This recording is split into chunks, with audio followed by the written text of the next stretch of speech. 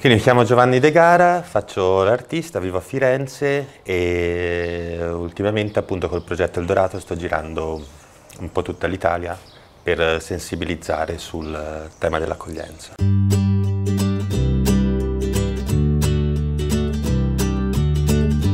Con l'oro si è sempre rappresentato Dio. Si usava l'oro, la foglia d'oro per fare i fondali dei quadri o rivestire i templi nell'est. Quindi era un materiale ricco perché Dio veniva rappresentato dal materiale più pregiato, più luminoso, più ricco, c'era questa assonanza. Secondo me ora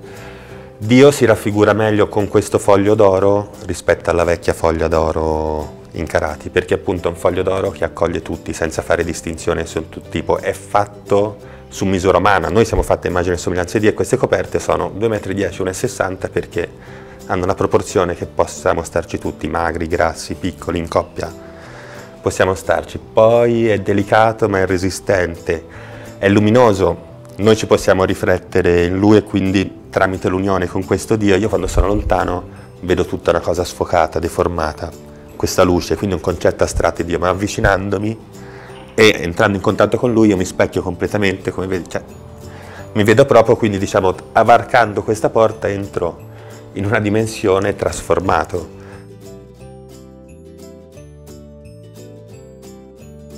E da lì poi ho iniziato a muovermi, Lampedusa, Palermo, Bologna, Parma, Pavia, Venezia, un po' per tutta Italia. Questa qui è la sedicesima tappa che faccio nelle Valli Valdese, ho fatto una trentina di chiese, sia chiese protestanti che chiese cattoliche, appunto perché il progetto non deve avere barriere, quindi neanche sulle porte dove vado io non c'è distinzione, insomma le porte vengono tutte uguali, uniformano, è un progetto ecumenico. Il problema dell'Italia e il mio dispiacere è che non si parla mai di arte e di arte contemporanea. Quindi questo progetto, se sei leghista dici no, fa schifo quella cartaccia sulla chiesa, se non sei leghista dici ah bellissimo, bello, bella idea, geniale, tutta... C'è la discussione poi alla fine su tutti i temi che interessano a me, che questa si ferma sempre al primo grado, accoglienza o no. Tutto come si fa adesso cioè senza, così, senza approfondire, senza cognizione di caso, come se fosse una partita di calcio tra due squadre, dove è necessario vincere e non capire chi un po' l'arte, la massa, che tutto capisce quello che sto facendo, che quindi non è solamente, cioè vede lo scontro tra una cosa millenaria, secolare e questa cosa modernissima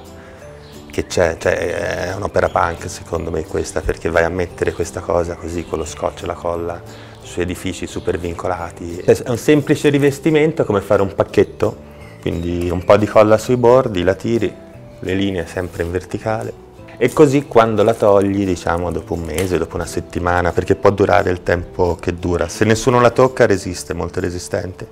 Se viene strappata è bene toglierla perché se no